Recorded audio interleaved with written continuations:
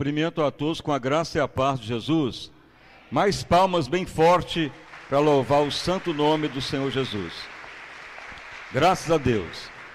Irmãos e irmãs, nós estamos hoje na primeira Santa Ceia do ano de 2016 e estamos numa etapa muito importante, a igreja tornando gloriosa, que é a visão que Deus tem dado desde que convertemos e o que Deus tem falado nos últimos tempos para o nosso coração é mostrar e revelar aquilo que ele havia mostrado, que muitas vezes não entendíamos o que eram aquelas visões desde a conversão. Estamos, estamos agora numa fase importante que é chamado subir os degraus de fé, que leva a ter a natureza de Deus em cada um de nós, que é a etapa que está sendo ministrada, completando hoje na primeira Santa Ceia.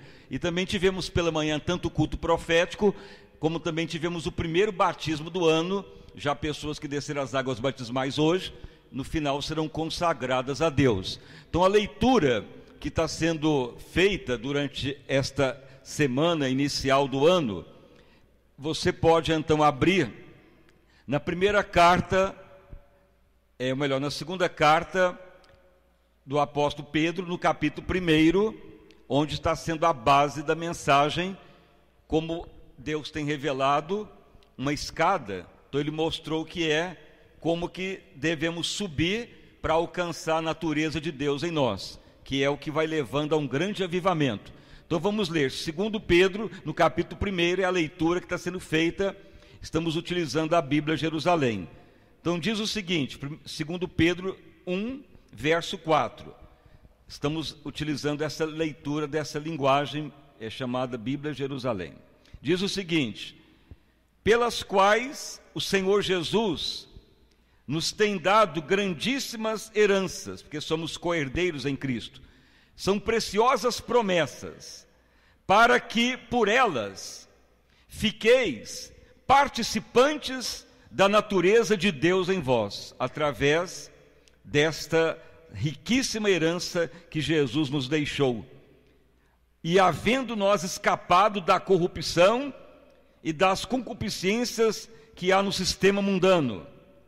E vós também, colocando nisso mesmo todo o vosso cuidado, acrescentai então ao início da vossa fé, ou na Bíblia Monfate, a base da fé, acrescentai então a bondade, porque a bondade levará a ter grande conhecimento da palavra de Deus. E o conhecimento de Deus levará à temperança, o ministério temperado, na Bíblia Monfate. E a pessoa temperada será levado a muita paciência, ou ministério paciente. E a paciência leva a grande piedade. A piedade cada vez mais vai levar a amar a todos como irmãos. E este amor aumentando levará a termos a natureza de Deus em nós, que é o amor ágape, o amor de Deus que vai se formando em nós. Então, essa é a leitura em três Bíblias que lemos. Então, podeis assentar e palmas bem forte para louvar e bem dizer o santo nome do Senhor Jesus. Irmãos e irmãs, sempre relatamos da igreja tornar gloriosa, que é uma visão que Deus deu desde convertemos. Mas devido às dificuldades, para pregar, para falar, ou até determinava a visão, mas não havia, havia muito crédito. Mas com o tempo Deus foi iluminando esta obra para tornar a igreja gloriosa. Por quê? É a igreja que vai tornando segundamente o caráter, a identidade, a personalidade em Cristo, que é que está em Efésios 5, 27 a metamorfose, glória em glória, segundo Coríntios 3,18, vamos sendo transformados para alcançar a natureza de Deus, que o fundamento de Deus é esse. Não é só nos abençoar, só querer que tenhamos o melhor na terra ou viver como ser humano comum. O plano de Deus para nós é estarmos na natureza dele, semelhança dele, reinar com ele. Então Deus enviou Jesus para restaurar o que se havia perdido por causa do pecado.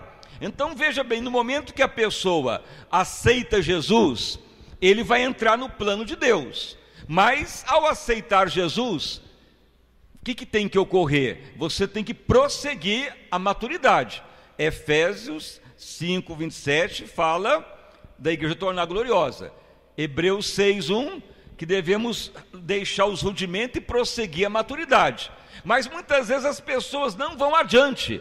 Aceita Jesus por necessidade, ou porque está doente, ou alguém convidou, vai na igreja, vai em outra. As pessoas estão aceitando muitas vezes o evangelho, mas não é tudo, porque é igual construir um prédio, uma casa, faz o alicerce. Mas se o alicerce não for bem feito, se não edificar o, o prédio, vai ficar só alicerce e não vai ter muito fundamento. Mas a vida cristã começa no alicerce e vai fundamentando, como está em Judas 20, edificando a vós mesmo, orando o Espírito. Mas se o alicerce não for bem feito, logo pode fazer uma casa, mas ela cai, não resiste. Por isso que tem sete maneiras de pregar o Evangelho, nunca esqueça isso.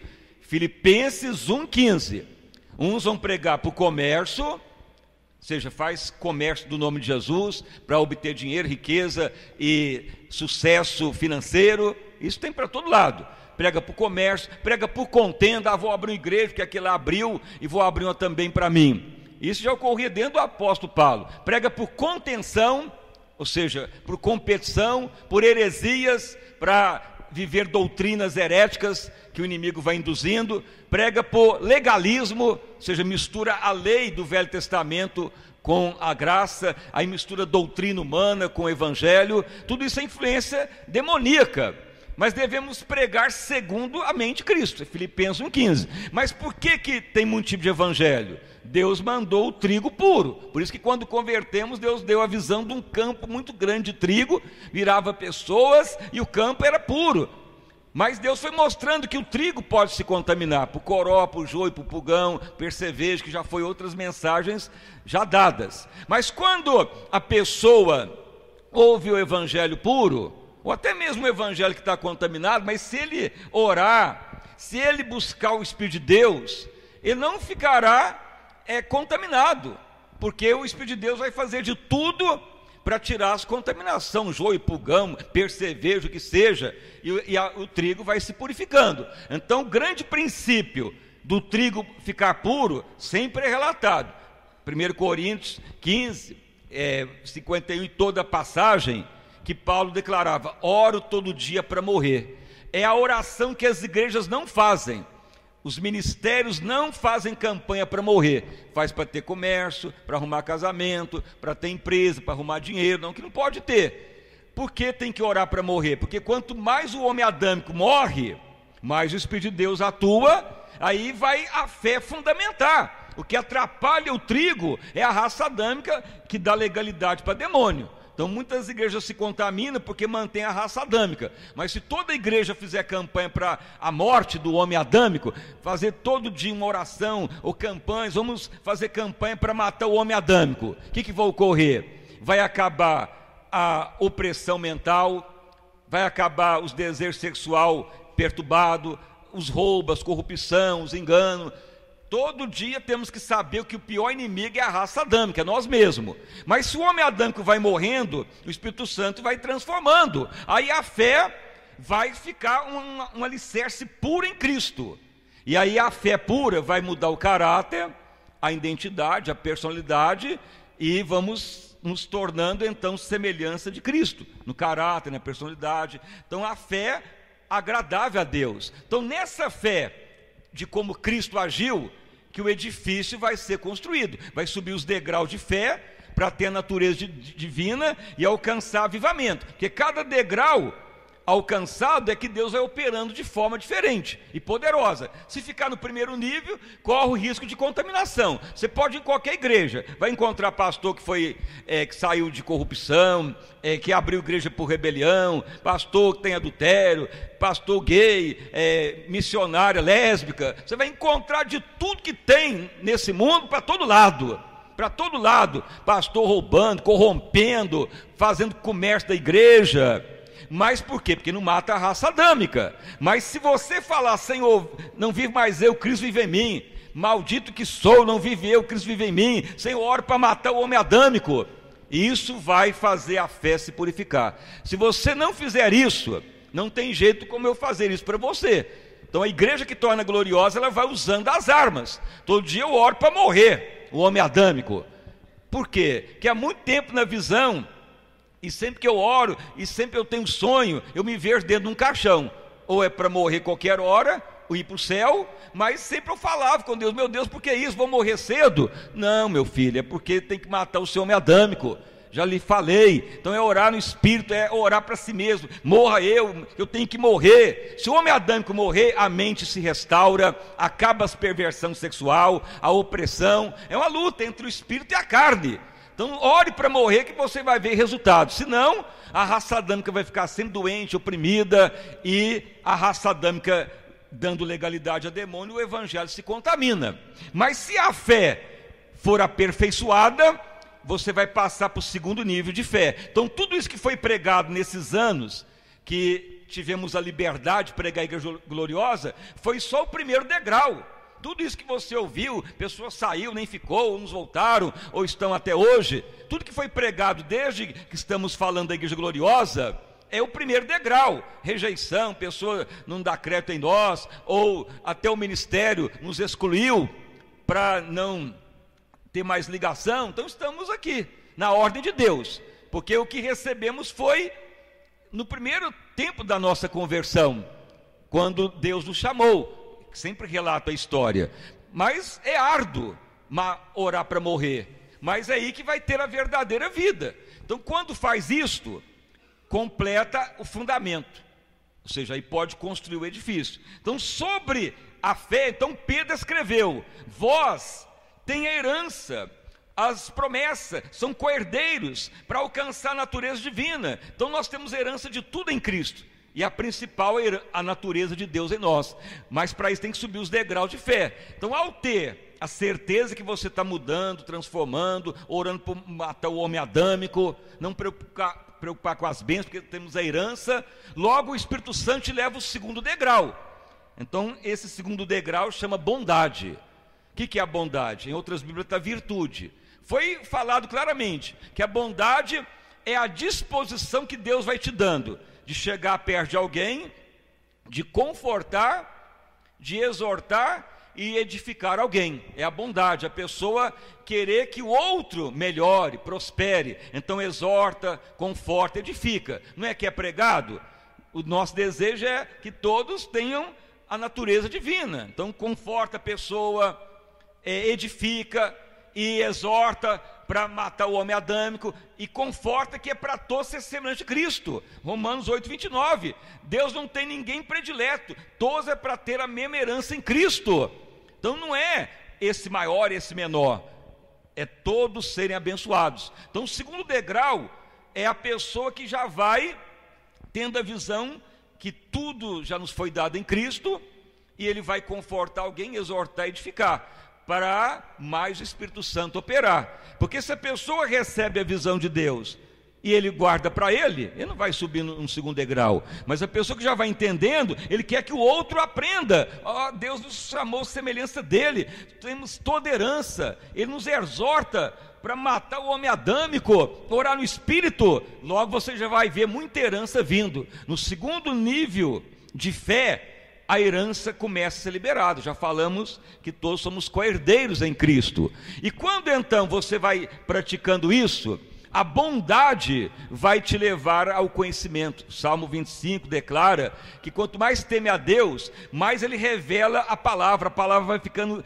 escrita nas tábuas do coração. Foi li também na, na carta aos Hebreus que o Senhor escreve a sua palavra nas tábuas do coração. Ninguém vai falar, conhece a Deus, conhece essa promessa, conhece essa verdade, cada um já vai ter a mesma interpretação da palavra. Então veja bem, isso vai levando a palavra a tornar viva. Você não vai viver mais pelo sentimento, pelo que o outro falou, a palavra fica rema, revelada, e a palavra não volta vazia, e vai cumprindo o que Deus quer. Então, muitas vezes você vai encontrar pessoa doente, aflita, problemática, e essa pessoa precisa de uma palavra rema naquele momento, como Jesus falou com a figueira: Figueira, ninguém vai comer mais fruto de ti. E a figueira secou, porque a palavra que sai, saía de Jesus era viva, ela libera e ela cumpre. Esse é um terceiro nível de fé, que é para todos nós também. Muitas vezes você fala a palavra para alguém, prega, vai orar no hospital, vai falar com alguém, fala e nada ocorre, entra no ouvido, sai no outro, justamente porque a palavra para funcionar, ela tem que estar nesse nível, nesse terceiro degrau de fé. Mas saiu já do primeiro, passou o segundo, está no terceiro, então aí o avivamento vai operando, onde você vai liberar a palavra, ela não volta vazia, ela vai cumprindo. E quando a palavra torna viva, você fica tão impressionado com o que Deus faz, que você vai entrando na temperança. O que, que é a temperança? O Espírito Santo te leva a ter controle de tudo. O ventre é, é para comida, comida para o ventre, como Paulo escreveu mas eu me, não me deixarei dominar por coisa alguma. Tudo é lícito, nem tudo convém. Nem tudo é lícito, não vai me dominar. O que é legal, o que eu posso fazer também não me domina. Seja prazer sexual, desejo de comida, de prazer, de alegria, de satisfação, você pode ter. Mas isso não te domina, é o temperamento, é, é o ministério temperado. A pessoa tem o domínio da língua, da palavra, dos desejos e nada o domina, porque aí você vai entrar numa situação de grande vitória, de ser temperado, de ser uma pessoa que nada te domina e vai alcançar muitas bênçãos. Muitas pessoas que não largam vício de droga, muitas pessoas que não conseguem sair da mente perturbada sexual, muitos problemas que surgem de homossexualismo, de opressão, de domínio é, é, de pedofilia, de incesto, sexo entre familiares. É uma perversão que tem para todo lado nas igrejas, como Paulo enfrentou na igreja aos Coríntios, incesto entre a madrasta e o filho, ou afilhado. E Paulo, então, já que ele estava nesse nível de fé, ele de, de, de, a palavra e aquela questão se resolve. Quando a pessoa tem o temperamento controlado, ele pode liberar uma palavra e resolver esse problema. Mas veja, as igrejas não estão chegadas nesse nível. Por isso que está se arrastando os problemas de droga, de perversão sexual. Ah, eu nasci assim, vou continuar assim. Não, é porque a igreja não alcançou um nível de avivamento e muitas coisas não estão se resolvendo, porque o fundamento lá está errado, está contaminado. E para chegar nesse nível de ter a natureza de Deus, o fundamento tem que estar tá adequado. Agora, se estiver pregando evangelho para o comércio, para o contenda, para o fingimento, para vanglória, para o legalismo, nunca sobe os degraus de fé. Vai falar que crê em Jesus, mas fica só falando. Mas um evangelho contaminado. Não vai ser levado à bondade, não vai ser levado à temperança, não vai ser levado à paciência, à virtude, à palavra viva, vai ficar no meio do caminho. Então, quando a igreja se aperfeiçoa, ela vai alcançando a natureza de Deus.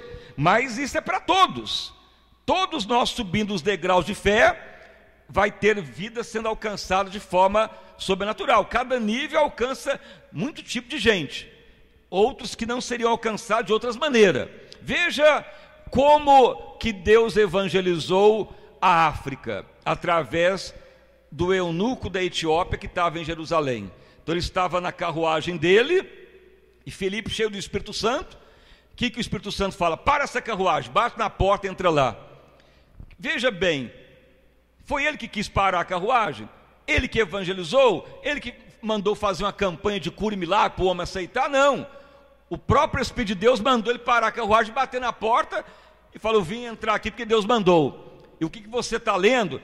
Está falando de Jesus, o Salvador, o Filho de Deus, aquele que te ama e quer que você seja semelhança dele, e você vai anunciar essa palavra onde você for. Então o homem aceitou na hora e parou ali é, de pregar para ele, falou: Quero batizar agora.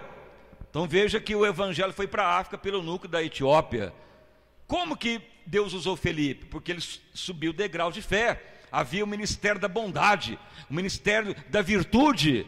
Hoje só fica dependendo do apóstolo, bispo missionário, fazendo propaganda aqui, a colar, só contando testemunhos, só falando da necessidade da pessoa, e muitas vezes é embuste, é engano, muitas vezes é, só conta o que agrada as pessoas, e um evangelho muitas vezes contaminado, que não leva a conversão, leva a engano, porque tem pessoa que fala, não, mas eu estou no espiritismo, faz também lá. Ah, mas eu estou no islamismo, faz sinal também. Por que, que faz sinal em outros locais? Porque o mundo jaz do maligno, o inimigo tenta imitar os dons, o inimigo imita até pessoas, o inimigo faz de tudo para enganar, mas quando a unção é liberada, desmascara o mal. Por isso que o primeiro nível de fé, a pessoa pode se contaminar. Se ele não reagir, ele começa a ouvir evangelho legalismo, de porfia, de emulação, mas se ele todo dia falar, Senhor, eu quero andar no Espírito, eu quero o trigo puro, Senhor, eu quero orar para a minha morte, por isso que as igrejas que estão contaminadas não oram para o homem adâmico morrer, porque senão, se o homem adâmico morrer, o diabo para de atuar, aí o Espírito de Deus vai atuar e trazer luz à palavra, e a pessoa vai ficar esclarecido, é isso que falávamos sempre ao ministério. Temos que orar para morrer, o homem adâmico, fazer é, oração para a morte todo dia, campanha para morrer, e não ficar fazendo campanha de sacrifício, só pedindo dinheiro, só fazendo sacrifício, só legalismo. E seu inimigo vai entrar no mata a raça adâmica. E um encontrinho de três dias não mata a raça adâmica nem na sombra. É questão de orar e orar. É ter pessoa no espírito que vai mudar a história. Então é o avivamento, é assim. Então, quando chega no temperamento controlado, a pessoa fica tão controlada que nada o domina. Aí ele torna a pessoa o ministério paciente. O que é o ministério paciente? É um ministério que quando você está atravessando luta, labuta, sofrimento, crises no Brasil, crise política, crise da família, crise no governo, crise nas igrejas, crise para todo lado, todo mundo descontente, os filhos, os, os parentes, os vizinhos, você não encontra ninguém contente, todo mundo reclamando, todo dia xingando, blasfemando, todo mundo é, abalado. Aí só quem chega no ministério paciente que vai ter solução. É o exemplo que foi pregado de Moisés. Moisés tirou o povo do Egito, atravessou o Mar Vermelho, fez maravilha, dez pragas no Egito, maravilha, poder, avivamento começou, mas chegou de novo o mesmo problema: acabou a água no deserto. E então o povo falou: acabou a água, não tem água, Moisés nos trouxe aqui para morrer, cadê Deus? E eles já tinham visto milagres, saído do Egito, recebeu os dez mandamentos, tanta coisa, e mesmo assim estava murmurando de novo. Então Deus fala: Moisés, pega o seu cajado e encosta o cajado na rocha, e vai sair água. Mas Moisés estava tão nervoso, Moisés estava tão agitado. Então, muitas vezes as pessoas ficam agitadas nas igrejas, como pastor, como missionária, no trabalho, como mãe, como pai, muitas vezes agitado como dono da empresa. Aí você quer tomar uma decisão rápida e enérgica e muitas vezes vai piorar a situação. Assim ocorreu com Moisés. Ele parou o nível de fé dele no nível da paciência. E ele pega o cajado e bate na rocha, sai água. Aí Deus fala: Moisés, agora tu não vai entrar mais na terra prometida. Você vai morrer no deserto. Vai ser salvo, mas não tem mais como te colocar na terra prometida, porque eu seria glorificado e o povo se converteria hoje, porque essa maldade de Israel, essa murmuração, esse mal, ia acabar hoje. Era só você colocar o cajado da rocha, seria água. Aí eu ia falar várias vezes a mesma coisa, várias vezes a mesma situação, mas eles iam sair água de novo. E aí eles iam glorificar Deus, iam e arrepender, falar nunca mais vamos murmurar de Deus, porque de novo Deus respondeu. Então veja, faltou para Moisés o ministério da paciência, que é outro nível de fé. E então aquela geração começou a fracassar. A queda da primeira geração de Israel de não entrar em Canaã começou ali, porque aí o povo continuou rebelde, murmurando. Mas se Moisés tivesse mantido a paciência, Deus seria santificado e a unção se manteria, eles converteriam, e aquela geração não morreria no deserto. Então, muitas vezes, a maior dificuldade é essa: pessoa com ódio, revoltado, pessoa violento, pessoa agressiva contra a igreja, não para em lugar nenhum, murmura, ódio. Para esses, Deus também tem salvação. Mas a igreja precisa subir os degraus de fé. Não é só lá fazendo campanha, pregando para cura e milagre, que é o primeiro nível, que pode ser até contaminado. Tem vários níveis que a igreja tem que subir, porque cada nível tem pessoas diferentes a ser alcançado, pessoas incrédulas, pessoas com perturbação na parte psíquica emocional, pessoas totalmente cheias da, do ateísmo e sabedoria humana, como Paulo chega na Grécia, e lá só existia filósofos, porque a Grécia é onde Paulo pregou em Corinto, em Atenas, é onde surgiu a medicina, as Olimpíadas que vai ter no Brasil, as medicinas, as ciências físicas e matemáticas, e também as filosofias, os epicúricos e estoicos, que fala em Atos, epicúricos adoram o corpo, que tem hoje até as academias até hoje.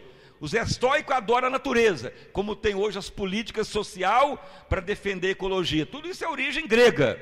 Então Paulo chega lá, como que ele vai pregar para aquele povo sábio, tudo doutor, tudo filósofo, tudo cheio de ciência?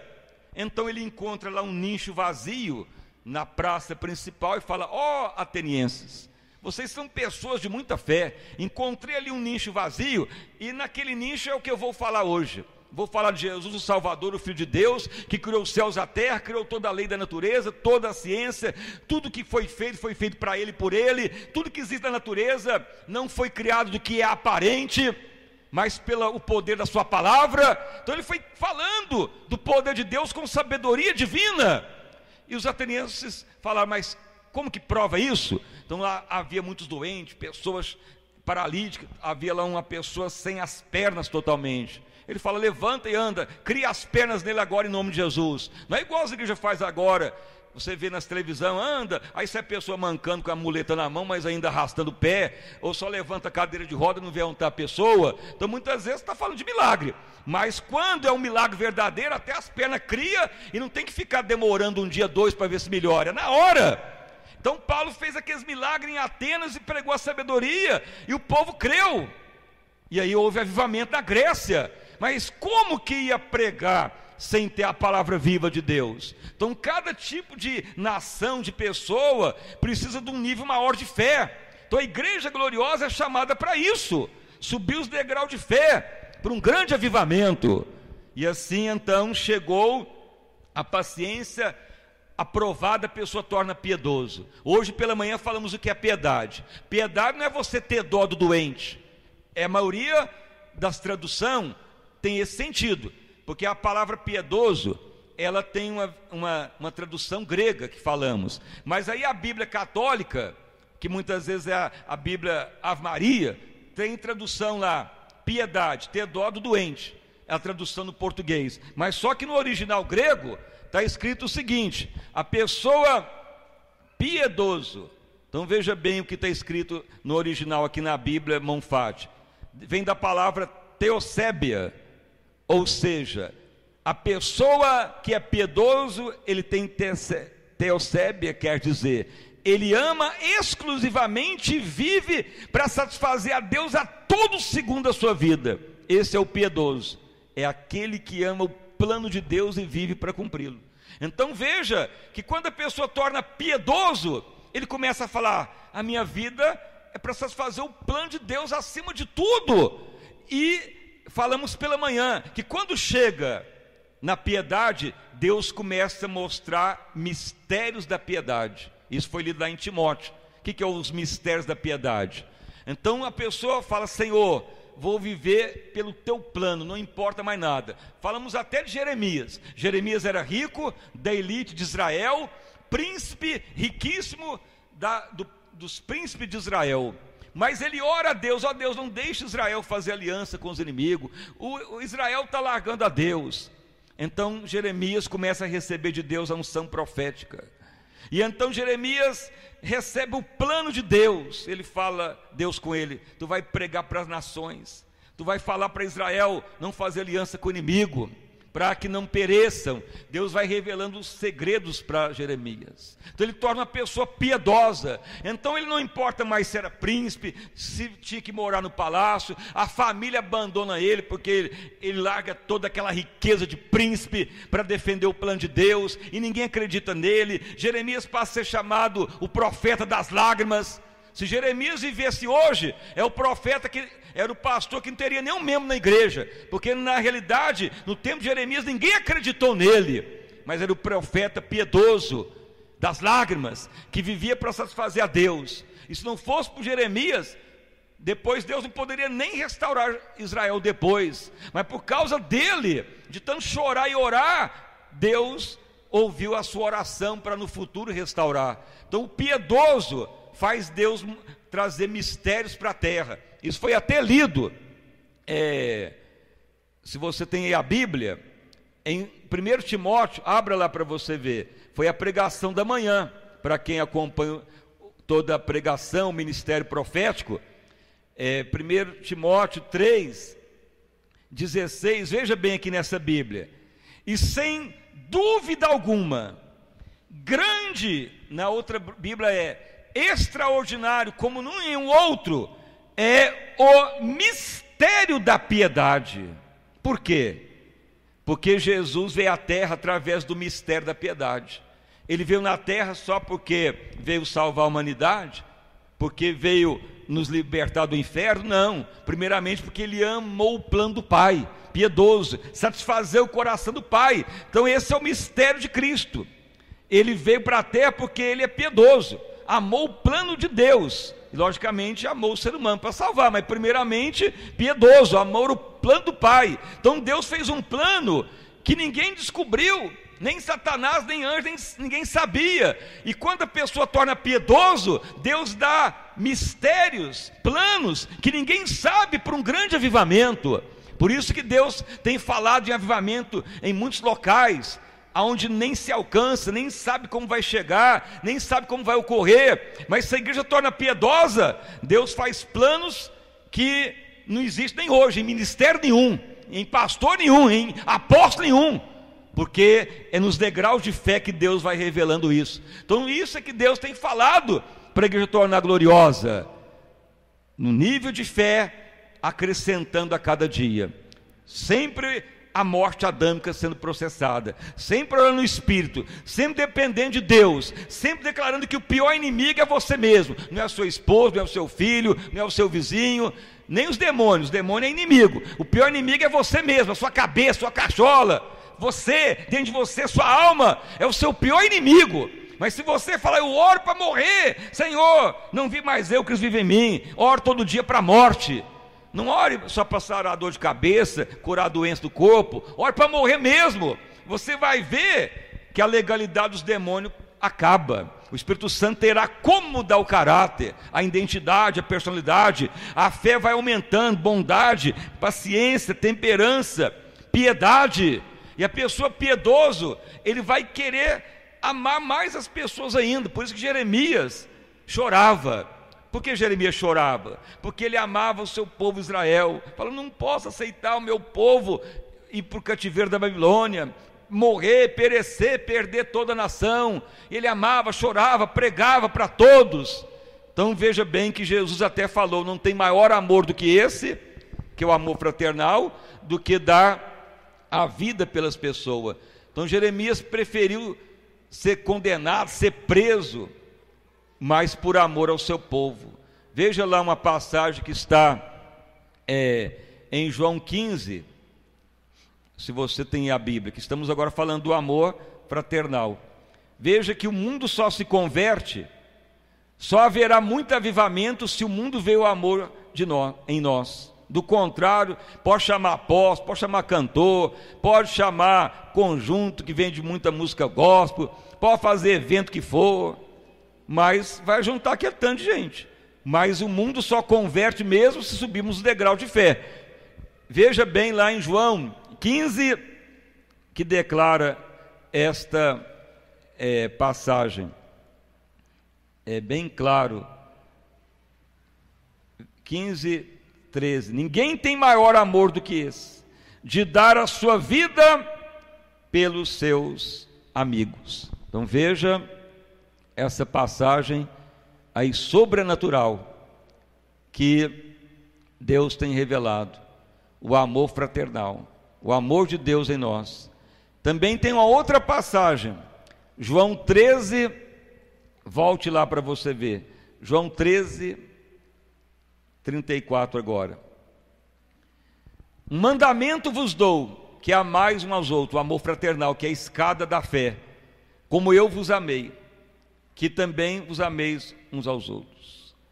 E nisso todos conhecerão que sois meus discípulos. Na Bíblia Monfarte diz: E assim o mundo saberá que são meus discípulos. Se amar uns aos outros, o mundo vai olhar para vós e aceitará a minha palavra com gratidão e coração aberto. Por que, que as pessoas não aceitam a palavra? Porque na realidade nós não amamos ninguém, não há amor fraternal, não está subindo os degraus de fé, está só no primeiro nível. Mas a igreja primitiva, o amor era tanto que a igreja caía na graça do povo, e quanto mais ama o próximo, mais chega no amor ágape, que é o amor de Deus. 1 Coríntios 13, o amor que tudo crê, tudo sofre, tudo espera, não se irrita, não procura os interesses, como João escreveu, Deus é o próprio amor, o amor ágape. Não estamos falando de amor eros, que é atração sexual, o amor filhos, o amor fraternos, mas o amor ágape, Deus é o próprio amor, isso é a natureza de Deus. Então, quando amamos como Deus ama, virá a volta de Cristo. Então, uma das grandes revelações que Deus mostrou é que Ele espera que a igreja suba a escada. Então, na visão, quando convertemos, sempre aparecia uma escada, vários degraus. E eu falo, meu Deus, por que essa escada? Então, já li que uma escada no tempo de Jacó, anjos subiam e desciam. Mas com o tempo, Deus falou, meu filho, essa escada é os degraus da fé que tem que aperfeiçoar. E quando chega lá no topo, então é a volta do Senhor eterno. Por que, que tem que chegar lá no topo? Porque a palavra de Deus declara que Jesus voltará nas nuvens. E ele não pisará nessa terra na volta, no arrebatamento da igreja. Então, o que nos leva a subir os degraus de fé é para Jesus vir nas nuvens, para ele chegar até nós e nos arrebatar. Mas se estiver aqui no chão no primeiro nível, ele não volta, porque não pisa mais nessa terra. Ele vai voltar no milênio. Mas no arrebatamento da igreja, ele não pisará na terra, ele virá nas nuvens. Ele virá sem pisar no planeta Terra, virá num piscar de olho, mas não pisará aqui. Então existe um segredo da escada. Ao subir os degraus, é como saímos do nível carnal da terra, níveis humanos, níveis da natureza adâmica e chegar na natureza divina, amar com amor ágape. E quando chega nesse nível, Deus olha para a igreja e fala: meu, meu filho, a igreja já está no nível que tu pode voltar, porque tu não pode voltar lá, porque não, tu não vai pisar mais na terra. Mas o nível que a igreja está já pode buscá-la. É a natureza de Deus em nós. Então, se a igreja chega nesse nível, Jesus volta. Se não, Jesus não volta, vai demorar. Mas como ele já tem revelado a palavra em muitos locais, não só aqui, mas em muitos locais, muitas igrejas estão caminhando em ser gloriosa, não estão ficando só nessa campanha, ah, faz sacrifício, dá dinheiro ali, ah, vai para Israel, ah, não, vamos fazer G12, vamos fazer encontro, vamos fazer evento, isso aí já está acabando, essas situações de evangelho de comércio, de contenda, de fingimento, só ter um apóstolo, só ter um bispo, só ter é, pregação para o bem da vida, isso aí já está chegando no final, porque a igreja está se alertando, é, orando. Muitas pessoas já estão se voltando à, à, à vontade do Pai. Por que está chegando o tempo de Deus? Porque se você ler em Filipenses 1,15, várias maneiras de pregar o Evangelho: comércio, contenda, fingimento, legalismo, por competição, por heresia, por comércio. Mas você nota lá que o último, segundamente Cristo. Então agora é a chance que Deus deu de pregar a igreja gloriosa, porque antes só ouvia evangelho dessa maneira, por contenda, por comércio. Ah, vou lá naquele missionário que tem revelação, vamos lá correr atrás dele. Fica igual guru, aqui que Deus falou, o que Deus mandou. Isso é evangelho da contenção dependendo do homem, já é para ser todo semelhante de Cristo. Então isso está caindo por terra para todo lado. A igreja está amadurecendo. Mas quanto mais hora para o homem adâmico morrer, mais rápido ocorre. Então você quer restaurar a família, casamento, a empresa, o ministério, é você declarar que você é o pior inimigo. É crer em Jesus e começar a orar para você mesmo, não para bênção, mas para morrer mesmo. 1 Coríntios 15, 51, vive cada dia minha morte, oro todo dia. ora no espírito, não aceite o homem adâmico te dominar. O homem adâmico é o pior inimigo, mesmo você é casado, tem empresa, emprego, ministério, mas dentro de nós há uma luta entre a carne e o Espírito Santo. Um se opõe ao outro, mas se a carne dominar, pastor cai adultério. A raça adâmica domina, o mal domina. Então veja bem, o problema sexual, homossexual, o problema de vício, problema de jogatina, o problema de língua solta, de murmurar e fofocar, é o mesmo pecado. Não tem diferença nenhuma. Tudo é raça adâmica miserável. Mas se você ora para o homem adâmico morrer, vai sendo liberto da pinga, da chupetinha do capeta, do álcool, tudo isso é demônio, é raça adâmica. Quanto mais tiver raça adâmica, mais o demônio insufla o mal. Então Deus deu a visão da igreja tornar gloriosa e assim temos que ir adiante, porque ele falou para nós irmos, e falou: Meu filho, cumpra isso, que vá adiante, que sou convosco. Então, até conosco, que, que temos recebido isso para praticar, é uma luta diária, que viemos também de uma situação de incredulidade, de rebelião, de ódio de ser taxado como ovelha negra da família, incrédulo, revoltado da vida. Então Deus faz isso mesmo, Ele escolhe os pior, os pecadores, aonde supermandou o pecado para superabundar a graça de Deus. É assim que Deus chama. Mas quando ele falou, vamos praticando. Não é que chegamos à perfeição, caminhamos dia após dia, mas a visão é essa. E Deus falou: ai de ti se não pregar, vai adiante, seja aperfeiçoado, pratique o que está sendo pregado, que vai melhorar, que Deus operará. Então essa é a visão de Deus. Mas ao longo do tempo só foi rejeição, não dá crédito, não dava é, vazão à palavra, não dava chance de pregar, dava chance a outros pregadores, outros ministérios, outros líderes, mal nos chamava para pregar um ar. Mas com o tempo, de tanto orar para morrer, Deus falou: meu filho, tem chegado o tempo agora já sofreu demais, padeceu, já foi pisado igual um, um, é, um verme para ser esmagado é tempo agora de saber o que eu quero. Então Deus age assim. Então Deus quer todos semelhante a Cristo, alcançar a natureza divina para Jesus voltar. E se a igreja não subir os degraus de fé, ela vai ficar, vai ficar noiva louca.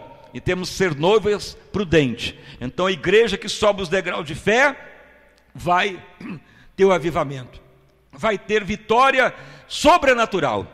Então essa é a etapa dos degraus de fé os mistérios da fé. E é para todos. Se você praticar isso, em poucos dias já melhora. Em questão de horas, você já vê a diferença. Se você orar para morrer, a raça adâmica perde força, a unção aumenta. Aquela dor que você padece vai embora. Você vai largar remédio, vai largar medicamento, vai largar opressão, porque enquanto a raça adâmica estiver forte, mais doença, mais miséria, mais demônio, mais sofrimento. Mas se você falar, eu vou, era para morrer, não é morrer para o caixão, para o cemitério, é morrer a raça adâmica, o homem caído, a mulher caída, a, a mulher degenerada. Mas se agimos na palavra, Deus operará. Então, infelizmente, nenhuma igreja gosta de orar para morrer, nenhuma igreja faz campanha para a morte. Você vê nas TV, vê os apóstolos, os bispos, missionários, vem para a igreja, vem fazer o sacrifício, vem virar empresário, vem que o missionário vai orar para a cura, vem, or, vem ver o milagre, e mostra criança doente, mostra pessoa paralítica, nem sabe se foi curado mesmo, e só fazendo marketing e propaganda. E o próprio Jesus proibiu isso. Jesus curou várias pessoas. E ele falava: vai mostra o sacerdote, volte para casa mas não conte para ninguém. Então veja bem que Jesus era contrário a espalhar isso. E hoje virou foi marketing. Por quê? Jesus proibia das pessoas espalhar tudo que ele fazia, justamente para as pessoas não buscá-lo só por necessidade, só por interesse. Porque Jesus já sabia, o Pai entregou para ele quem já seria alcançado. Então ele não preocuparia em multidão, em ter multidão, propaganda. Hoje as igrejas preocupam com multidão para arrecadar, para virar empresa, ter milhões, é, ter as rendas e virar igreja empresa, que mais está ocorrendo? que vai levar muitos à condenação, mas o Evangelho é alcançar a natureza divina. Então, essa é a visão dessa etapa agora da Igreja Gloriosa: subir os degraus de fé. Então, as palmas bem forte para louvar e bem dizer o santo nome do nosso Salvador Jesus Cristo. Então, fique de pé, irmãos e irmãs, e vamos orar. Clame a Deus agora, é a primeira Santa Ceia do ano. Faça o voto, meu Deus, eu quero a natureza divina em mim, quero subir os degraus de fé, quero mesmo, ó Pai, seguir cada etapa da igreja gloriosa. Não aceito mais viver padecendo a miséria sem herança, não aceito mais ser enganado também, lubridiado, não aceito mais perturbação sexual, engano, maldade humana, sistema mundano me dominando. Quero seguir o plano de Deus. Então vamos orar. Senhor meu Deus e Pai, em nome de Jesus, nesse momento, é preparada a mesa, a primeira mesa da ceia do Senhor deste ano de 2016. Pai, nessa primeira etapa, a mensagem tem sido renovada desde que foi pregada as bases da fé. Passamos agora para os princípios da virtude, prosseguindo a natureza divina em nós, prosseguindo ao amadurecimento. Cada nível de fé que se alcança, mais vitória, mais conquista, mais milagre, mais vitória vai se processando, mais pessoas são alcançadas. E tu deste uma promessa já há muito tempo, Pai, que haveria um avivamento gigantesco. Nós não saberíamos o tempo, o dia, a hora, Muitos, muitas vezes pensávamos, ah, nesse ministério, ah, esse líder que Deus vai usar, ah, esta igreja que estamos agora, que Deus fará avivamento. Os anos passou, o tempo passou e nada, mas é porque Deus havia falado que o avivamento viria, se a igreja tornar gloriosa, e por isso Ele foi revelando os segredos da aliança, a visão do campo de trigo que foi tornando pessoas, o trigo puro, a fé purificada, a fé aperfeiçoada, fundamentada, Deus de amor, Deus de misericórdia, que a igreja torne gloriosa, que ninguém venha, ó Pai, desistir da palavra de Deus, que ninguém também deixe correr solta a raça adâmica, não adianta acusar o irmão, o irmão, o esposo, a esposa, o filho, o irmão, a irmã, ou aquele irmão, ou aquele vizinho. O pior inimigo é nós mesmos. Enquanto nós não reconhecer que o inimigo é eu mesmo e orar para morrer o homem adâmico, vai continuar essa munha, vai continuar a contaminação, o inimigo tendo legalidade da raça adâmica e não sobe os degraus de fé, mas a igreja que age segundo a palavra prevalecerá. Senhor, confirma este tão grande avivamento, nessa primeira grande santa ceia do ano, Pai. Renovamos este voto e queremos prosseguir a maturidade em Cristo. Queremos, ó Pai, a natureza de Deus em nós, a herança em Cristo, as promessas da herança nos pertence. Senhor, nos perdoa, nos purifica, nos livra de todo mal, da raça adâmica, nos ajuda a ter temperança, o controle, a paciência, a bondade.